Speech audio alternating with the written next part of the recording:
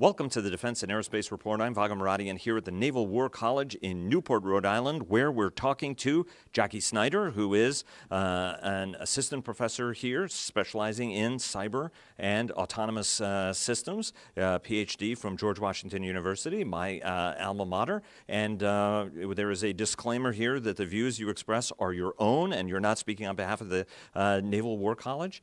Jackie, thanks so much for joining us. Yeah, thanks so much. I wanted to start off with um, talk, asking about the cyber challenge. Everybody um, is talking about the Internet of Things, uh, how cyber vulnerabilities um, can, uh, you know, at what point do cyber vulnerabilities and cyber actions transition into kinetic? I know you've done work on that.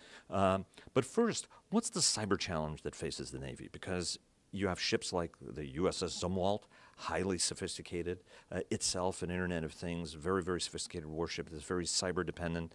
Um, what are the cyber vulnerabilities that face the Navy, given that it has these sort of major platforms that are out there, each one of which are highly dependent on computer systems to, to run and, and function and fight successfully? Yeah, you know, a lot of people have looked at um, the role that cyber operations might be able to play in creating physical effects. Can I physically destroy the Zumwalt? But I think what's actually more likely to happen and per perhaps more insidious and more dangerous is the degradation of trust in our data. Um, the way we operate, the way we execute military power is um, highly dependent on data and being able to trust that data. And if there's one thing that we've seen that cyber operations can do, it's to degrade our ability to believe information. And if we don't believe information, then it's not just that the Zumwalt stops physically operating. It's that you can't execute operations, you can't believe in the battle damage assessment, you can't um, create strategic effects. And I think that's actually the most dangerous threat to Navy operations is the inability to trust the data that we've built our weapon systems, our operations, and our strategies on. And, and what are the best ways to defend those networks? Because uh, if you look at it, there are a multiplicity of potential vulnerabilities, right? I mean, we saw from Stuxnet, uh, or, or even in experiments. I mean, I remember friends of mine at Sun saying, we tell everybody, don't take the USB stick and plug it into your computer. It's very, very bad. And then they deliberately leave a USB stick in the coffee room and somebody plugs it into their computer, Yeah. right? And that's at Sun, or, or well, now Sun doesn't exist anymore, so that like already dates me as an old timer. But you know, what are some ways to protect that vulnerability? What's the right course to do that, given that the, the Navy cyber ecosystem is a gigantic one?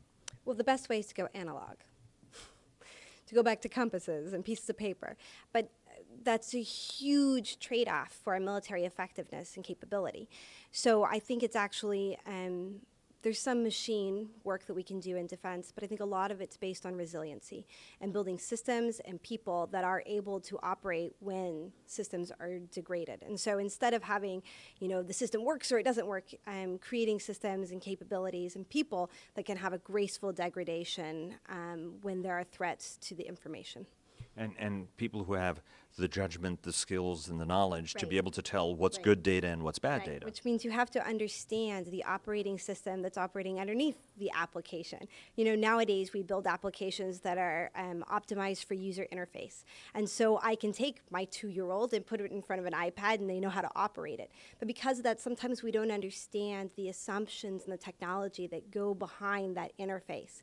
And I think we need to build people who are able to understand what logics and what capabilities are underneath that outside interface.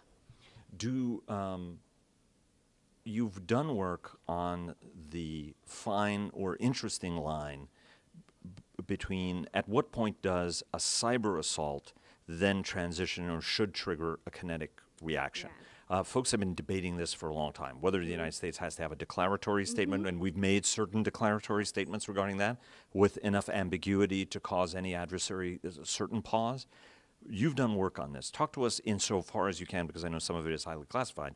But what are these lines? Because it is, you could argue that when it comes to cyberspace, the great power competition has transitioned to just competition, but actually uh, effects. Talk to us a little bit about what that line is and what the state of the thinking is at what point do you transition and respond to a cyber or potentially overwhelming or even devastating cyber attack and respond to that with a kinetic effect? Yeah, this is fascinating. Um, and a lot of this is in the realm of the hypothetical. And so we actually have some of the world class capabilities to st- understand the hypothetical here, and that's wargaming.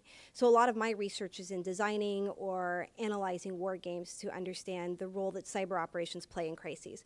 And I went back and I, um, I actually did some declassification of games that we had run over six years, and what I found was that over six years, cyber operations never created an escalatory dynamic. In fact, even when the red team conducted really highly escalatory cyber operations, including cyber attacks that created nuclear effects on allied countries, uh, the, our blue team players chose not to respond to those cyber operations. They said, well, it's psychologically different. And so, this interesting thing that I found, this cyber restraint, I thought, well, is, is, this just happening within elites? And so, um, with a professor at Cornell, Sarah Kreps, we ran a series of survey experiments to understand does the domestic opinion, do they have the same sort of cyber restraint? And we found that once again, the U.S. population is not uh, does not consider cyber attacks, even when, when they create the same effects as a nuclear or a conventional attack, they don't consider them to be the same. And so there's this cyber fire break in which cyber operations can operate underneath armed conflict, underneath the gray zone, um, and not yet not escalate beyond. So um, the next follow on to this research is to look at the role that um, vulnerabilities within nuclear command and control might play, uh, because there are hypotheses that potentially that vulnerability would create the incentives for escalation. So we're at the beginning part of that project and running it um, in the United States and also with um, foreign um, different countries to see what potential role cyber vulnerabilities in nuclear command and control might play in crisis dynamics. Uh, do you know how our potential adversaries do respond? So, for example, from a Chinese or a Russian perspective, or, well, I don't think a North Korean perspective really would be a valid uh, question, but from a Chinese and a Russian perspective, do Chinese and Russians look at this and say, no, no, no, you know, that's not a line, that's not a Rubicon we should cross? Or is their answer, sure? I mean, that's the $100 million question.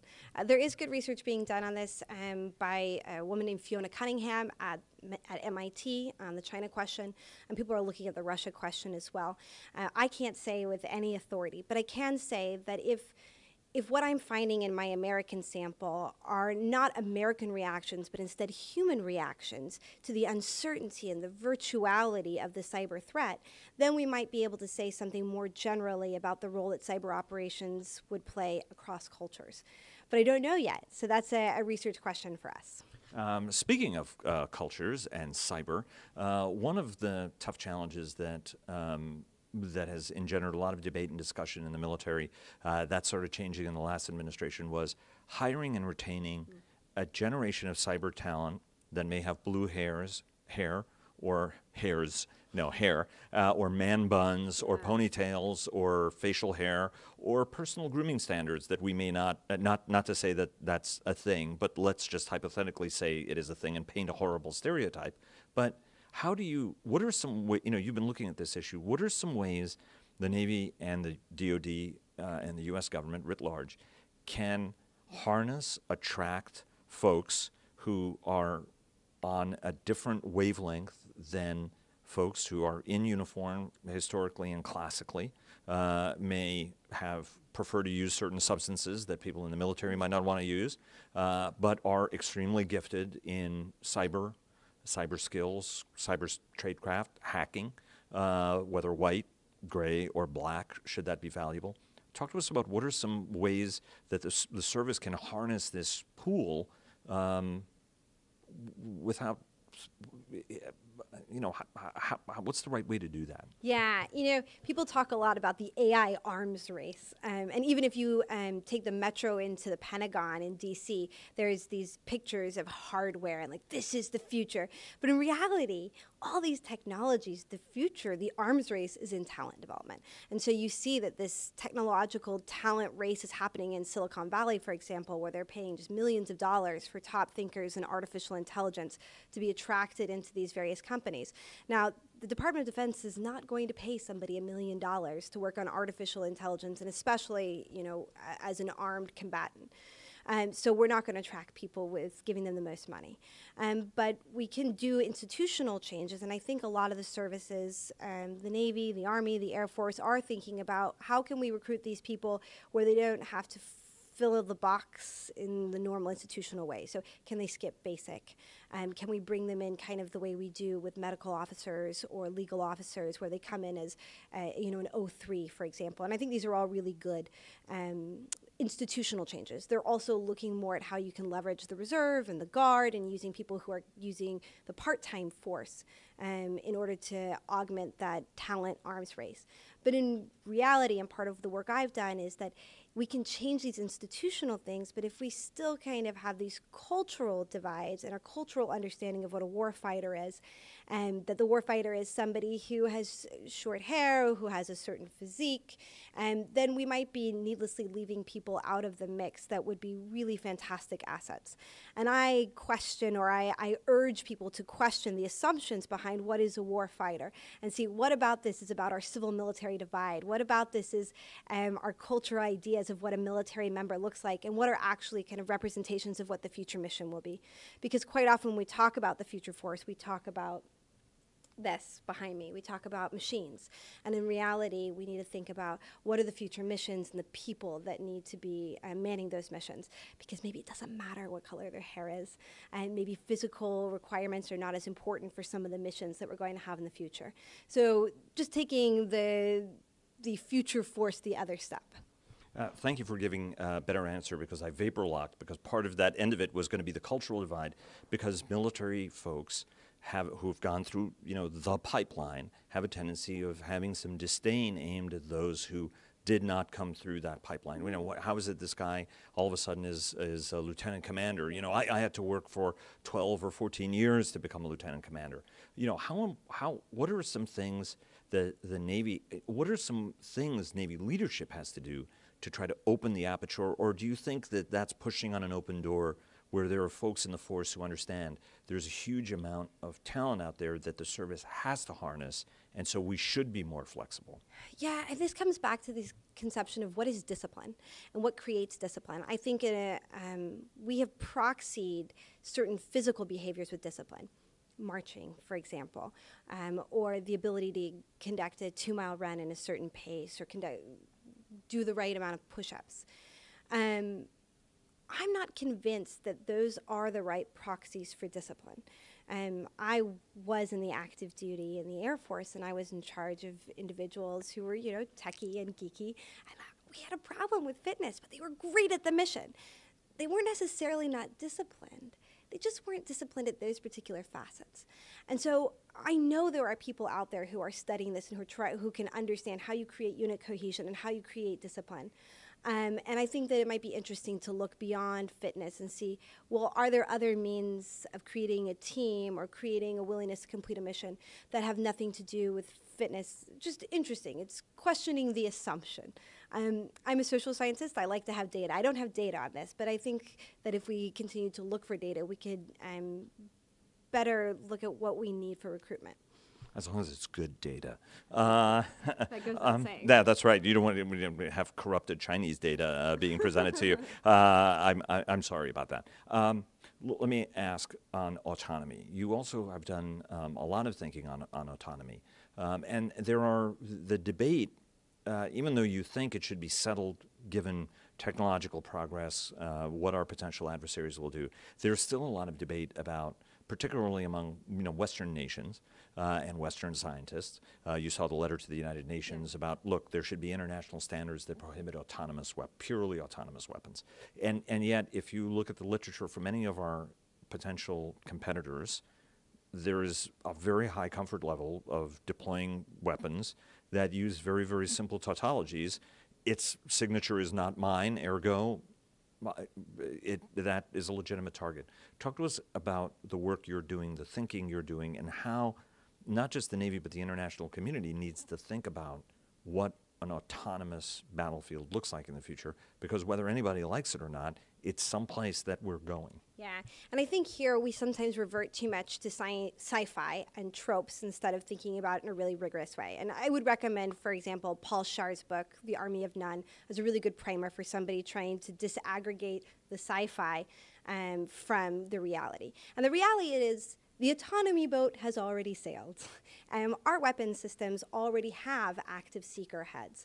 Um, and so in we still fire them. They don't have firing authority, but more and more often, the, the weapons of the future have some sort of logic or ability to discriminate between the target and between friendlies, to um, launch without lock, which is um, something that's kind of been in our inventory starting since the advent of the microprocessor. So, in some way, the autonomy thing is already left the gate. The question is kind of how much authority, how much ability we want to delegate to machines to be able to take that fire. Um, that firing decision. And that's a really complicated question because there's a question of military effectiveness and what the technology can actually do. There's a question of ethics and what is ethical. And then there's a question of truly like what are we comfortable with delegating to the machine, which is more of an emotional, cognitive trust element. I've focused my research a lot on that emotional reaction between the warfighter and the autonomous weapon. Um, and so all three of those things come into play into decisions about what types of weapons we should be investing in. Um, and sometimes the sometimes being most effective on the battlefield can actually solve some of the ethical problems. Um, and that's why sometimes scientists maybe don't understand some of the um, what actually works, what doesn't, what the considerations are on the battlefield. So, if you go back to the nuclear um, analogy, for example, the strongest um, initial descent to nuclear weapons was actually from the nuclear scientist community. So, these are all groups of people that need to come together and understand and start speaking the same language. Well, and Albert Einstein, in fact, right, was one of the strongest voices Yeah. uh, arguing uh, against and, and wanting to put it as a world weapon, not not as a not as a U.S. weapon. Even though you're not a military ethicist, I want to ask you the ethics question of this. Throughout throughout the history of warfare, there've been debate about you know whether you know longbowmen were ethical because knights should fight each other with with swords, or the introduction of the crossbow, or the firearm. Uh, and then if you go you know, civilians shouldn't be targeted. And then we ended up in the First World War targeting civilians. Uh, or you could argue even in the American Civil War, right, where the march it was targeting civilians, the March to the Sea, uh, or nuclear weapons. You know, talk to us a little bit about the evolution of thinking when it comes to operational effects. You know, submarines were underhanded Yeah, weapon, yeah. and now they're uh, they're hold a unique place in military capability, particularly in great power competition, right? So I think part of this is the feeling that if you are mitigating the risk to a human being, that somehow this will induce a state or an individual to to fire or to take someone else's life when they wouldn't otherwise, right? So with the longbowmen, you're increasing the distance, the range of, of conflict, and that therefore decreases the, um, the first contact. And that's unethical. Um, but what I have found, because I, with a co author, Dr. Julie Macdonald at the University of Denver, we've been looking at the unmanned imperative and the drive for unmanned technologies. And we went back and looked at military revolutions over time, and we found is that there have been times when states have tried to create that distance from the battlefield with technology. But what actually creates these large incentives for military changes, a military revolution, is not distance in itself, but it's the combination of distance with um, firepower. And so states aren't necessarily more likely to invade another country just because they can fire first. They have to also have better lethality when they fire first. And so it's not the firing first that creates the large revolutionary incentive, but instead it's firing first for effects. So if you look at the technology that we're developing now, we're not necessarily looking at technologies that are pairing large scale lethality, like a nuclear weapon, with also these big changes in autonomy. In fact, when we talk about autonomy and nuclear weapons, we all get very, very nervous. So, what's fascinating is if we know that over time it's not range by itself that creates incentives for revolutionary change, then what should we be investing in um, as the US Department of Defense? And so this is where Julia and I have a theory of the use of autonomous vehicles, and that is that if you're in a war of coercion, which is a smaller, limited range war, you have a very limited objective, that you should be investing in autonomous weapons that maximize um, mitigating political costs. So they might be very expensive weapons, but they take the man out in a way that allows you to get in, get fast, get out fast, and achieve a very small objective but that if you are doing a larger scale, more existential conflict, for example, a peer on peer conflict, then what you want to invest in is not things that mitigate political costs, because you've already kind of gotten rid of political costs at that point, but instead invest in autonomy that mitigates economic costs. So you're talking very smaller um, systems that can be shot down, that are missile soakers, that can um, create big data um, ISR networks. So those are two very different types of weapon systems that you would invest in that have autonomous characteristics. Um, and so hopefully that's kind of where this discussion about the unmanned imperative goes in the future. Um, you know, it was uh, uh, fascinating. Just you know, everybody has a particular concern about nuclear weapons, justifiably so. On the other hand, if you look at firebombing, more people died of fire bombings than they did yeah. from either of the two nuclear weapons that were used. And uh, and uh, uh, General Chilton, former Strategic Command commander, also a former astronaut, always points out if you want to know what war what what war without nuclear weapons looks like. Just look at World War II in terms of, of the carnage because it was unchecked in, in, in some respects. Let me let me take you because our time is short. Uh, the last question is, what are the kinds of autonomous systems? You know, as you've studied the ethics, studied the need, former airman, uh, or Airmen for Life. Uh, just shout out there for, for Larry Spencer. Oh, and another shout out uh, our very own Jennifer Leo Prohori, who is our digital director, is the one who came up with the title for Paul's name, Army of None. Oh, so, wonderful. so uh, she uh, she she did that, and, and we're we're very lucky to have her on on on the team. Um, talk to us a little bit about the systems. What is the kind of autonomy the Navy and the nation needs as you look at you know, the submariners will say it's for dangerous, dirty, and dull work, right? Which is why we want the ultra large, uh, uh, ultra large on-demand underwater vehicles. What do you think are some of those systems that are going to be particularly attractive uh, when it comes to the employment of autonomy, or, or to be employed autonomously? So I think it definitely goes back to this idea of the trade off between political cost and economic cost, and that we need to invest in weapon systems for different types of conflict. I think there are mission sets that have proven themselves to be highly advantageous for autonomy. Um, for example, we're going to live in a degraded C2 environment. Using unmanned systems to serve as a relay leg so that you can have more organic command and control instead of having to rely on satellites or really expensive over the horizon resources that's a really good use for unmanned systems. Also, unmanned systems that can act as kind of missile soakers that increase the economic costs, that degrade uh, missile inventories, for example, is a really good use of unmanned systems.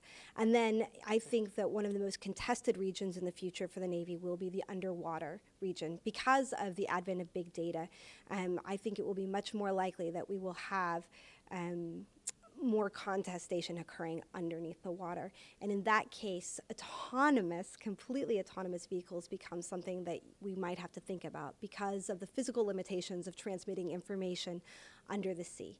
Um, and so we might find that, for example, you have um, cables under the water and you have a series of kind of machines that are duking it out amongst each other to defend that cable.